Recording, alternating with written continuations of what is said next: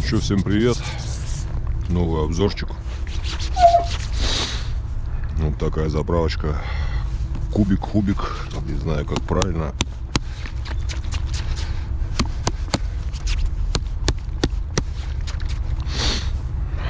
По-моему, в бутылке не хватает шарика.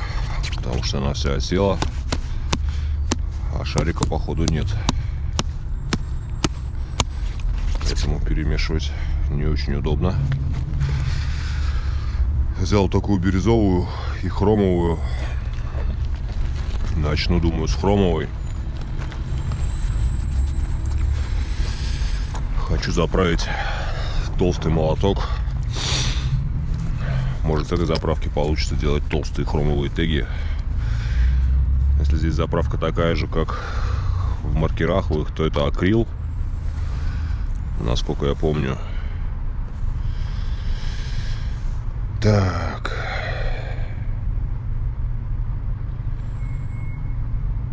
Тут особо не написано. Ну, я думаю, не знаю, короче, потестим.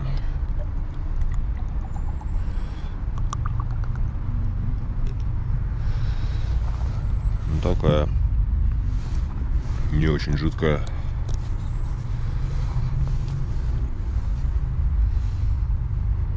Надо кинуть будет шарик, хорошо размешать остатки. Потому что на стенках много осталось.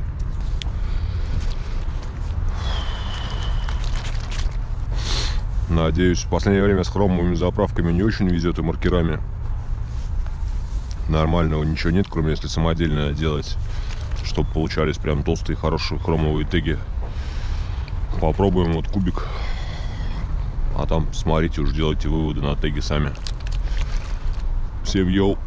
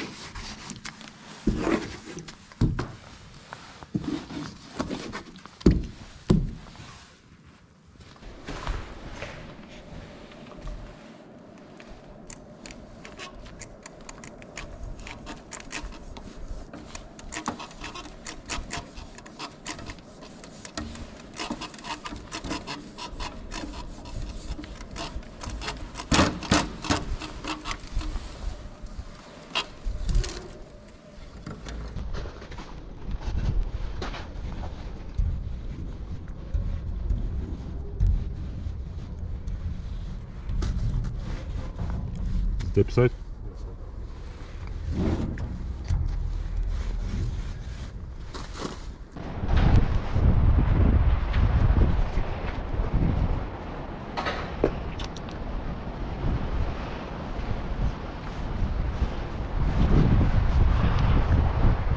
Подержишь, ветром не сдуло.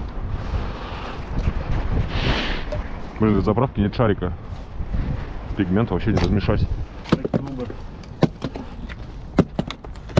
Можно какой-нибудь камень кинуть, кстати. Но потом забьется в эту херню. А.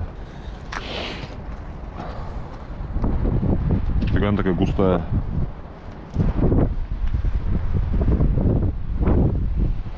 Прям вообще.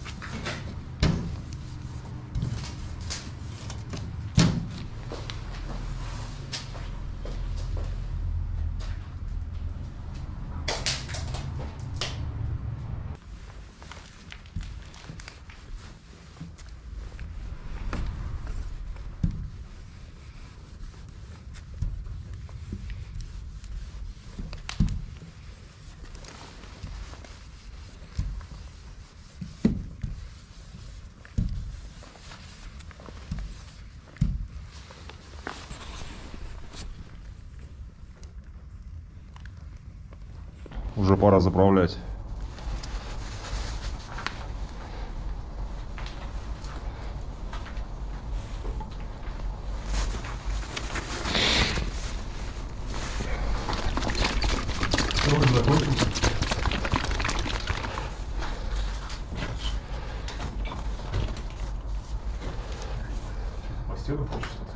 Я просто забрать хочу. Кончился.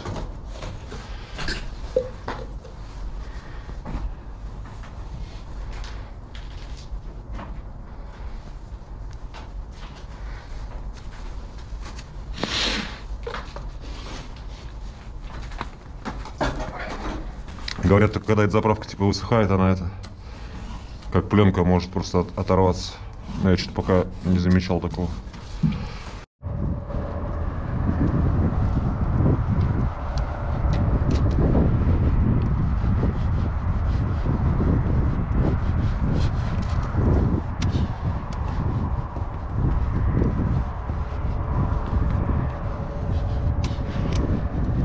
Так он мажет.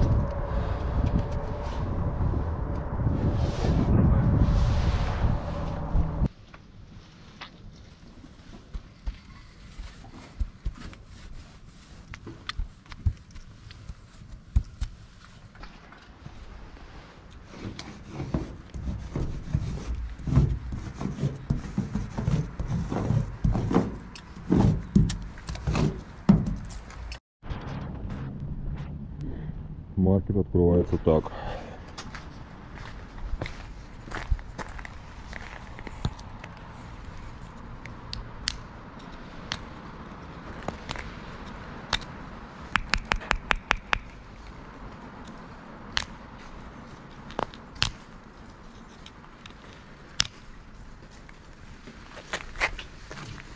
Минус второй маркер.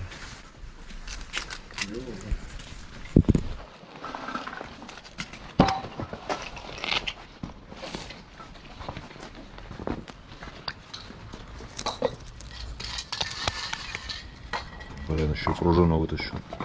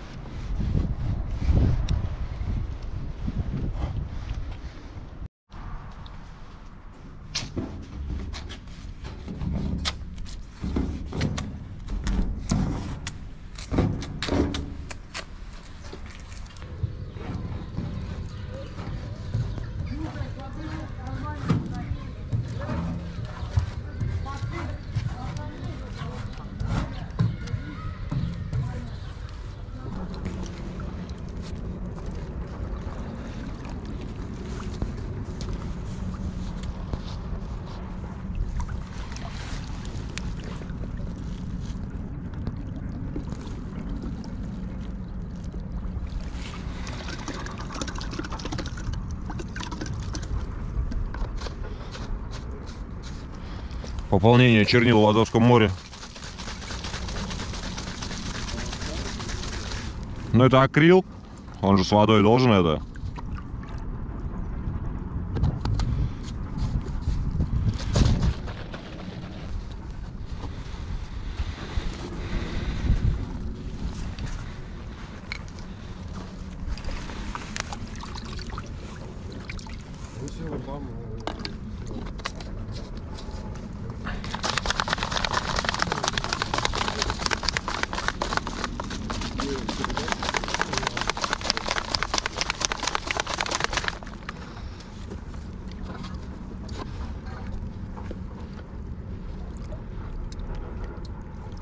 Ага, чернила получились.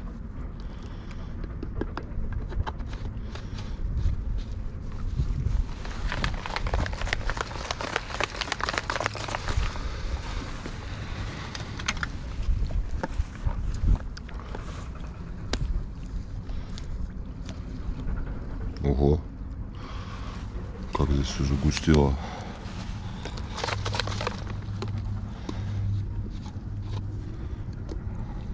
Короче, надо шарик, шарик добавлять по-любому.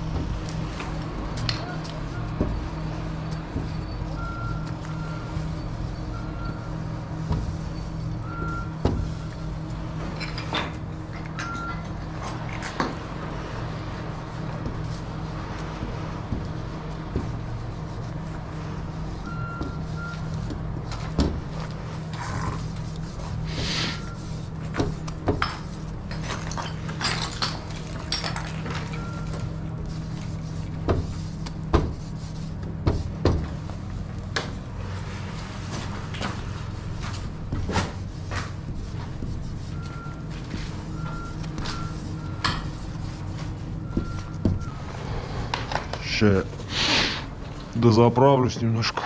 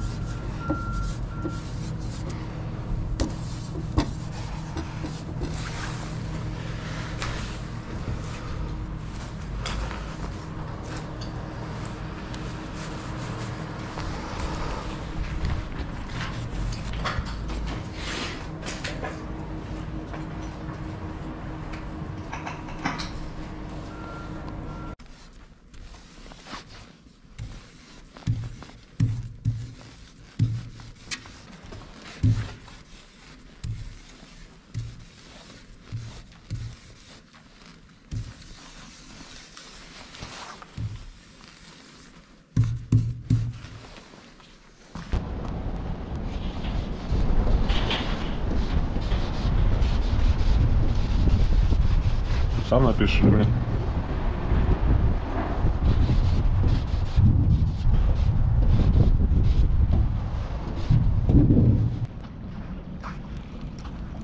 Заправка, в принципе, неплохая, тегать можно. Но единственное, конечно, дороговатая. Ну, единственное, конечно, стоит дорого. Ну, потому что акрил, как уже говорил. Разбавлять можно водой, как проверили уже. Со стенок, конечно, все еще не ушло. И в маркере, который лежал у меня где-то пару недель без дела, как когда я заправлял, вы уже заметили, что снизу собралась э, слишком густая, слишком густые чернила, так что я думаю, что если они простоят у вас месяцок-другой, то в маркере будет просто каша уже. Поэтому советую в маркер кидать какой-нибудь шарик, как я сделал, вот камушек кинул, и просто постоянно ее перемешивать, если тегаете и ну, там не очень быстро, чтобы... Если не собираетесь потратить ее очень быстро, а будете тегать какое-то время, то лучше иногда помешивать, чтобы вот не возникло как в этом маркере. А то, я думаю, пролежит у вас, потом возьмете, думаете, а сейчас пойду потегаю хромом, толстыми тегами, а он будет писать какой-то кашей. Не раз слышал, что со временем эти чернила как пленку можно оторвать, если тегать по каким-нибудь стеклам и так далее. Но я, честно говоря, сколько не пытался, так у меня такого и не получилось, не заметил. Возможно, нужно, чтобы больше времени теги провисели, засохли как следует. И, возможно, потом такое, да, произойдет. Но, с другой стороны, это все равно акрил.